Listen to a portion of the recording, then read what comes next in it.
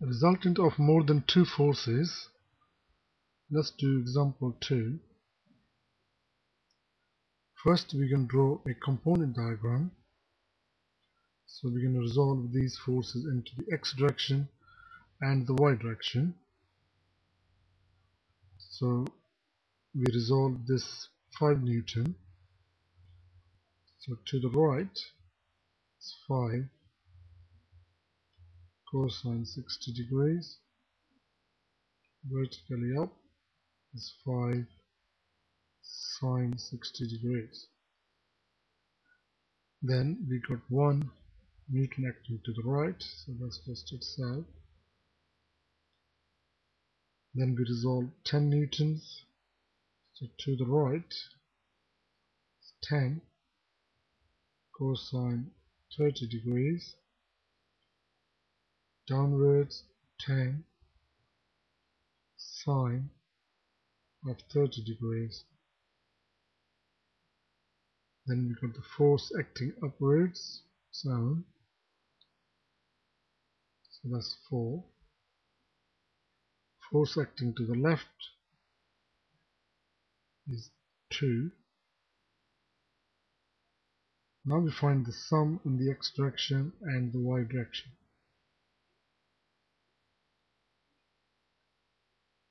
So we have 5 cosine 60 plus 1 plus 10 cosine 30 minus 2. Now use our calculator, we get the answer to be 10.1603. Now we find the sum in the y direction. 4 plus 5 sine 60 degrees then minus 10 sine of 30 degrees. And from the calculator we get the answer to 3.3013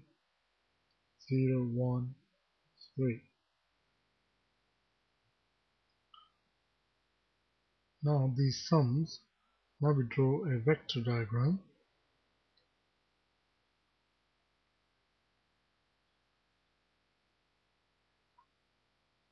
So the force, the vector to the right.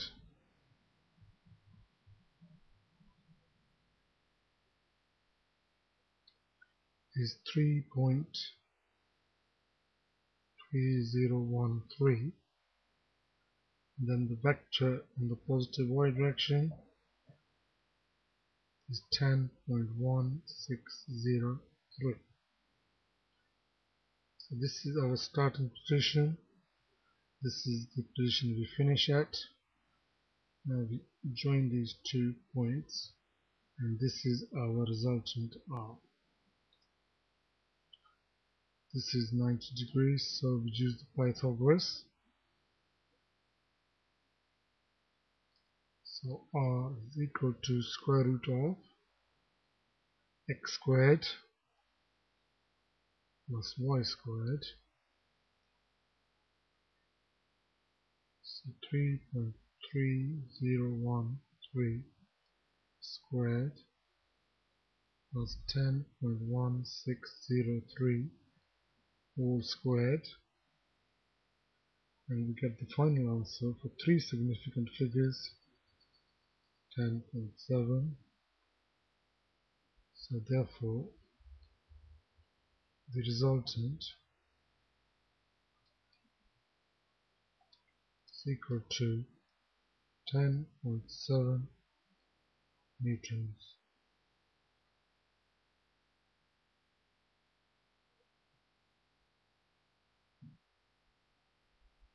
So draw a component diagram find the sum in the x direction, find the sum in the y direction, draw a vector diagram, then find the result. Let's do example 3. First we have to draw a force diagram.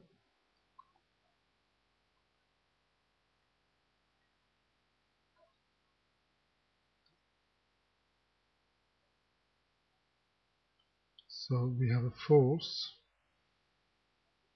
12 Newton and the direction north 30 degree west. So this is north. Then 30 degree west.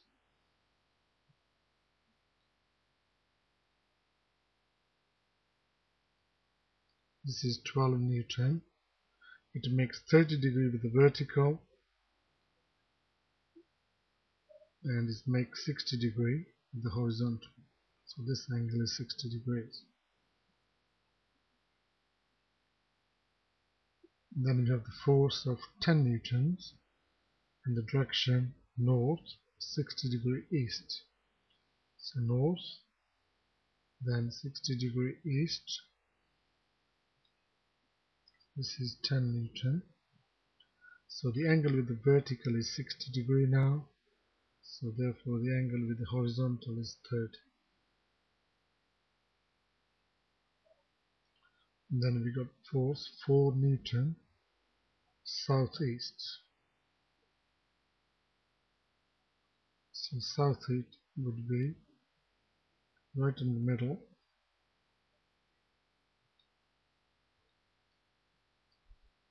This would make the horizontal 45 degrees. Now we draw a component diagram.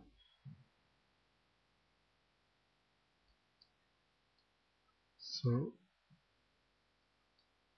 the component of this 10 Newton 10 cosine 30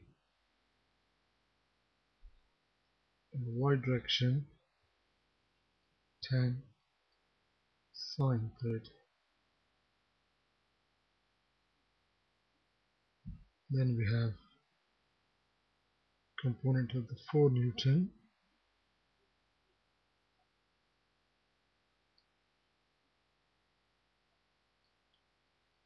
4 cosine 45 the x direction the negative y direction 4 sine of 45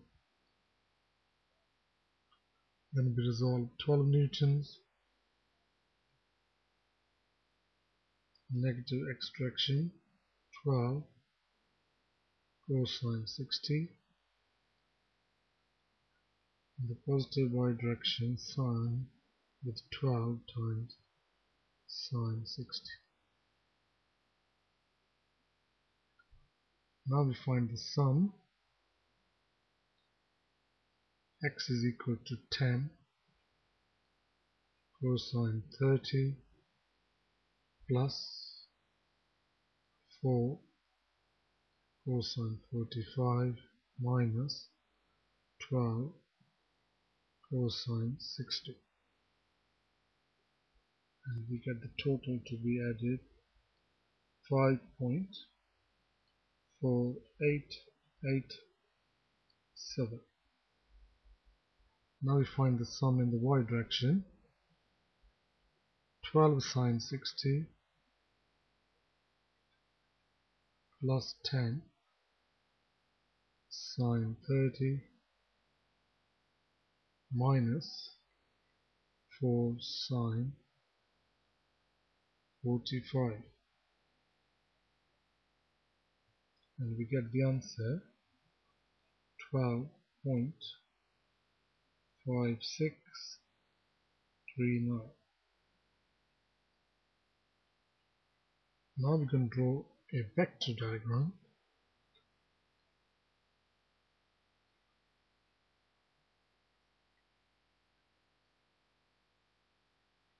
So the x, so the vector in the x direction has length 5.4887 then from here we draw the y direction vector which is 12.5639 this is our starting position. That's where we finish. Therefore, we join these two points. So our resultant is this. So we use the Pythagoras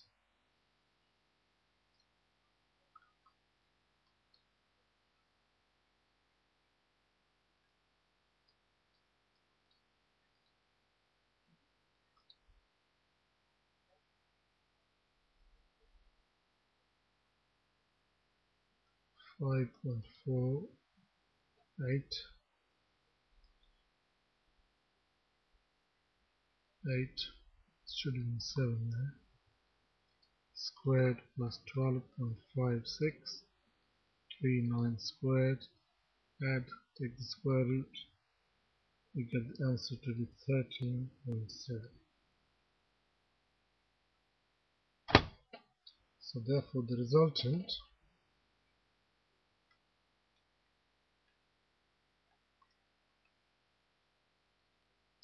equal to 13.7 Newton.